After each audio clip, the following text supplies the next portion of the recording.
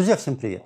В сегодняшнем видео я хочу рассказать о цветной электронной книге Bigme B751C. Поставляется устройство вот в такой картонной коробке. Предусмотрено два варианта комплектации. У меня расширенная комплектация, соответственно, отдельная коробка с электронной книгой и отдельная коробка, в которой находится фирменный чехол. Давайте поподробнее о комплекте поставки и, в принципе, приступим к тестированию и описанию технических характеристик. Базовый комплект поставки. Электронная книга, стилус, металлический стилус. И в отдельном боксе у нас находится шнур для зарядки и для передачи данных. Просто кейс. Насколько я понимаю, в нем абсолютно ничего нет, хотя я ошибся. Здесь у нас находится скрепка, запасные перья для стилуса и вот такое вот колечко. Также имеется инструкция по эксплуатации, китайский, английский, русского языка я здесь не наблюдаю. В принципе, его здесь и не указано. Все, комплект поставки на этом закончен. Сама читалка. Давайте посмотрим сейчас на нее немножечко поближе.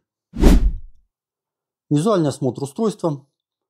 Две механические кнопки управления, достаточно толстый кантик по бокам. Задняя крышка текстурирована под кожу. Пластик. Кнопка включения-выключения устройства. Микрофон, слот для установки карт памяти. Порт для подключения зарядного устройства и кабеля передачи данных. Ну и также здесь находится внешний динамик. Что хочется сказать о технических характеристиках. Дисплей 7 дюймов, E-Ink Katara 1200. Разрешение 1264 на 1680 пикселей. 300 ppi плотность пикселя. Это для черного-белого контента. Что касается цветного контента, здесь у нас 632 на 840 пикселей и плотность составляет 150 ppi. Подсветка имеет 36 регулируемых уровня. А, защита экрана, технологии, точнее экрана у нас здесь Kaleido 3. Операционная система Android 11, процессор 8-ядерный, тактовая частота 2,3 ГГц, установлено 4 ГБ оперативной памяти, 64 ГБ встроенной памяти с возможностью расширения до 1 терабайта, что достаточно много. Камера, безусловно, отсутствует. Имеется Wi-Fi двухдиапазонный 2,4-5 ГГц, Bluetooth 5.0 и емкость аккумуляторной батареи составляет 2300 мАч. Достаточно неплохой показатель автономности. Э, произведу замер времени автономной работы именно в режиме, когда активен экран и, собственно, показателями, результатами тестов поделюсь с вами позднее. Прежде всего, давайте определимся с интерфейсом данного устройства. Он интуитивно понятный, имеется боковая панель, на которой расположены основные элементы для управления электронной книгой. Имеется раздел офлайн книги, это книги, которые мы уже успели посмотреть. Имеется раздел локальное хранилище, то есть это своего рода файловый менеджер. Список установленных приложений. И здесь важно отметить, что перед нами операционная система Android. Соответственно, все, что доступно для операционной системы Android, мы все можем установить на данную электронную книгу. То есть у нас достаточно большая возможность в выборе приложений, которые э, мы будем использовать для чтения. Ну, имеется здесь, соответственно, ряд предустановленных приложений, и ими мы воспользуемся чуть позднее. Далее, другие приложения мы посмотрели. Документы, офис, раздел перевод мы можем воспользоваться при необходимости, но опять же нужно будет произвести э, аутентификацию. Делать этого я сейчас не буду. Это же касается и облачного хранилища. Давайте сейчас вернемся к именно к опциям электронной книги как читалки. Э, это цветная читалка. Соответственно,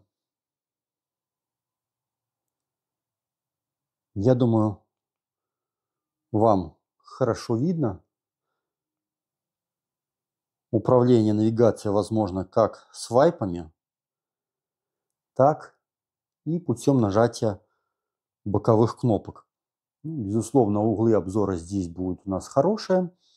А, имеется G-сенсор, соответственно, ориентацию устройства можно сделать как автоматически, так и принудительно, вертикально либо горизонтально.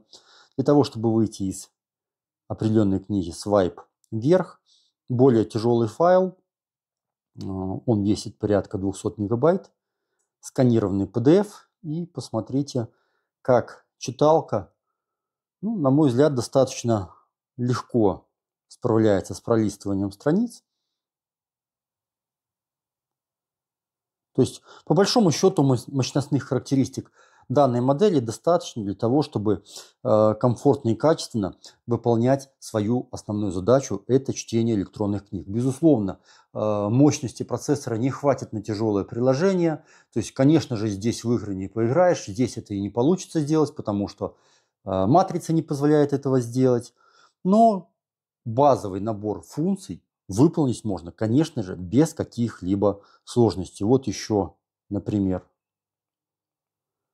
одна читалка, яркость, контрастность, все здесь настраивается. Опять же, чуть-чуть позднее я вам это покажу. Ну, давайте посмотрим, у меня еще на локальном хранилище имеется вот такой вот атлас.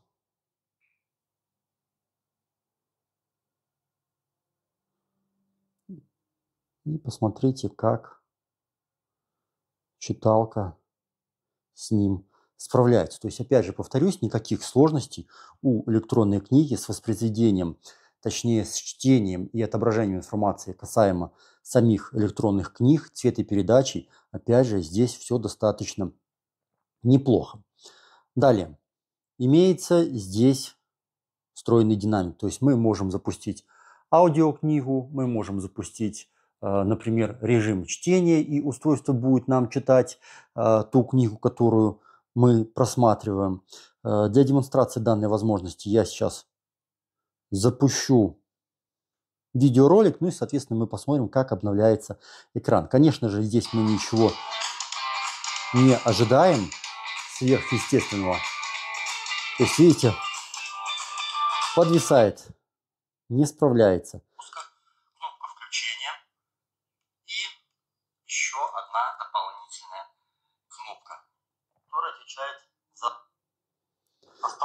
Гореть. Поэтому, опять же, предохранитель. Ну, собственно говоря, этим самым тестом мы сейчас опять же проверили работу встроенного динамика. Далее, давайте посмотрим на работу модуля Wi-Fi. Uh, у меня в квартире установлен интернет, uh, скорость 200 мегабит в секунду, поэтому запускаем тест и видим, что Устройство способно качать на скорости близкой к максимальной заявленной скорости. Мобильные телефоны работают, конечно же, вытягивают все 200, но в случае с электронной книги этой скорости, на мой взгляд, опять же, более чем достаточно, потому что смотреть видео мы, конечно же, на ней не будем. Что касается аппаратной составляющей, опять же, давайте посмотрим. У нас Mediatek Helio P35, 2,3 ГГц тактовая частота – так.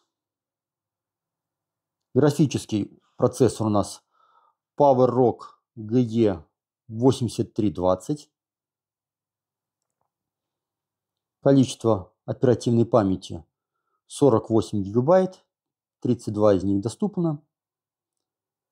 Количество встроенной памяти и, соответственно, 4 гигабайта оперативной памяти. Операционная система Android 11. Еще хочу посмотреть, что покажет относительно разрешение экрана.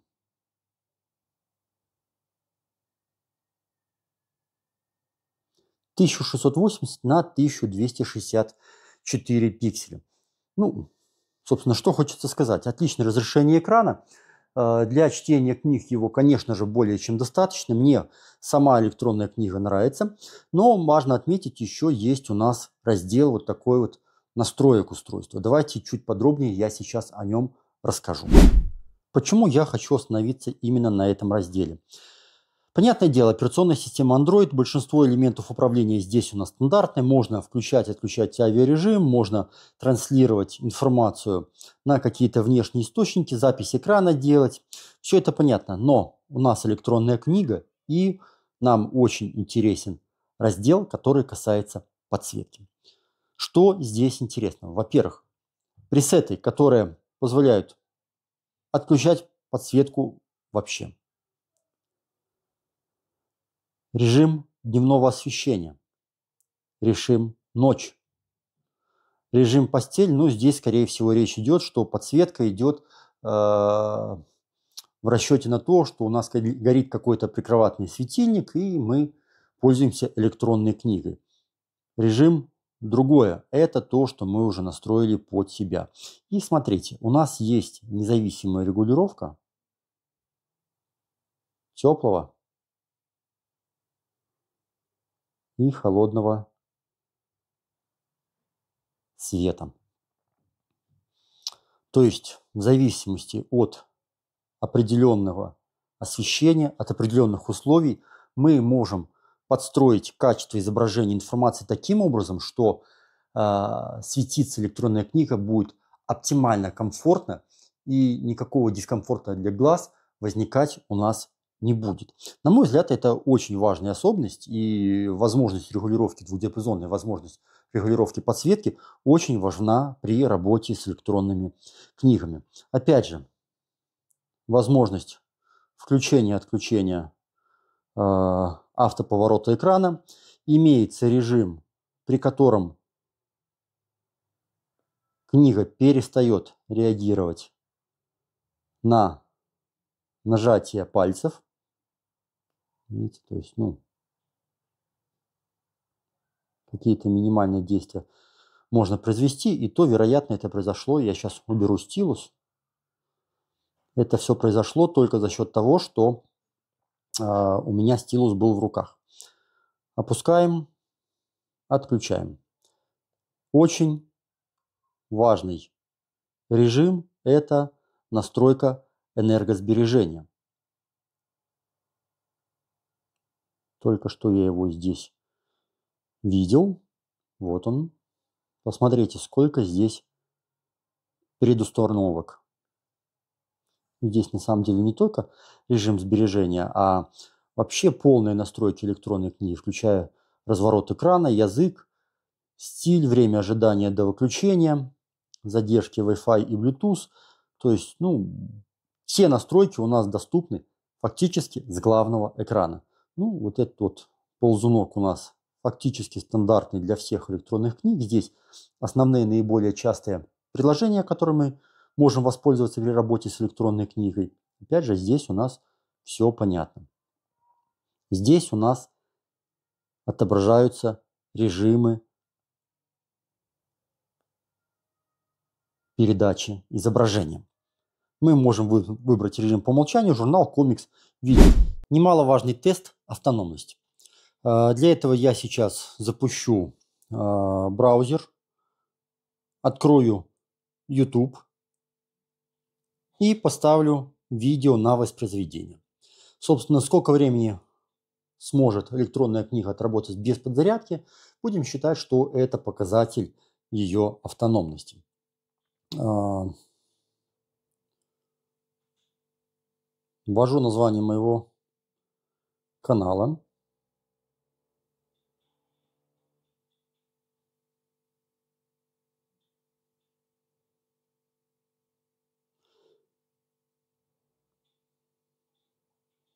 И, собственно говоря, сейчас запущу воспроизведение видеороликов. Что важно отметить, полностью заряд электронной книги занимает ровно 3 часа. Она у меня до этого была разряжена на 100%. Я ее полностью зарядил, и на это ушло 3 часа.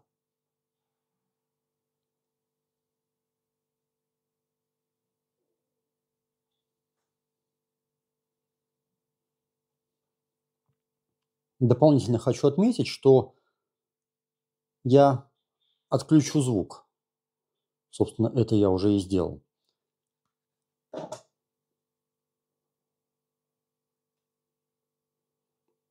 Посмотрим, насколько хватит заряда.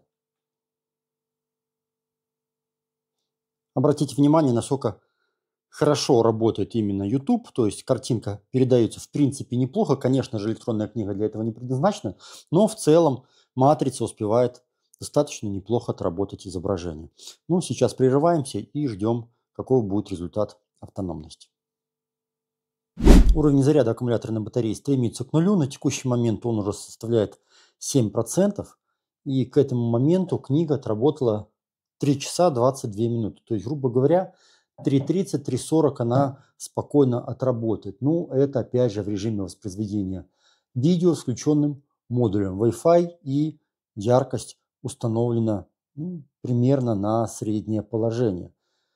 А, исходя из этого можно предположить, что в режиме чтения книга реально способна отработать ну, где-то от 17 до 25-30 часов, ну, явно не больше.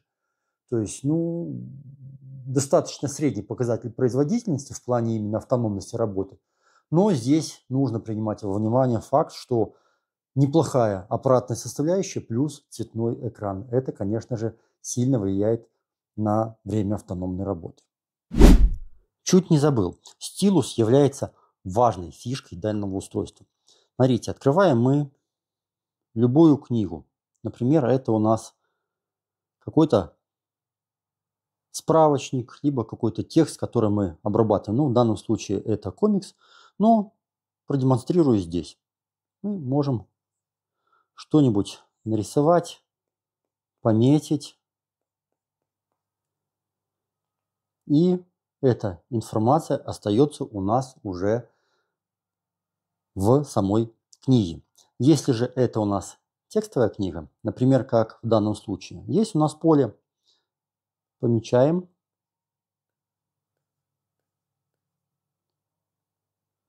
И она преобразует текст, который мы написали, в такого рода текст. На мой взгляд, весьма удобная функция, которой можно пользоваться, если, допустим, мы читаем и какие-то важные фрагменты мы хотим пометить. Кстати, давайте я попробую выделить вот эту часть и посмотрим, что произойдет. Видите, произошло такое вот аккуратненькое выделение. Ну, давайте еще вот так вот попробую. Ну, здесь не все так аккуратно, как ожидалось. То есть получается, маленькие фрагменты обрабатываются лучше. Да, на мой взгляд, очень неплохо и отлично реализовано. Комплект поставки расширенный. Имеется чехол для электронной книги оригинальное устройство, поэтому, конечно же, лежит книга в нем, как влитая. Предусмотрен holder для хранения стилуса.